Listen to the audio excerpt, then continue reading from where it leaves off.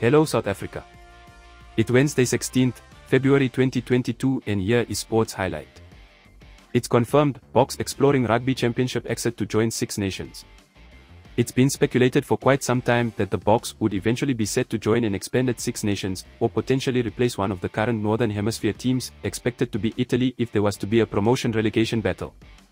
Towards the end of 2020, the SANZAR governing body stated that the Springboks would play in the Rugby Championship until at least 2030 as part of a new 10-year plan.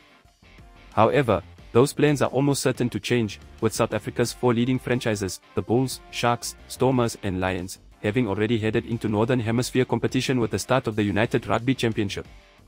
The SANZAR partnership has appeared to be increasingly strained over the last couple of years, with cracks appearing ever since New Zealand was seen to have unilaterally decided that they would be leaving Super Rugby after the pandemic threw the competition into disarray.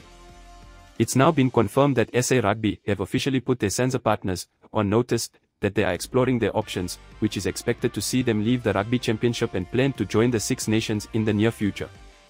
Some reports have suggested this dramatic move could take place after the 2023 World Cup, but SANZAR announced on Wednesday that NZ Rugby, Rugby Australia, SA Rugby and Argentina Rugby had all committed to the Rugby Championship until 2025, in line with existing broadcast agreements. This is Luke for the South African.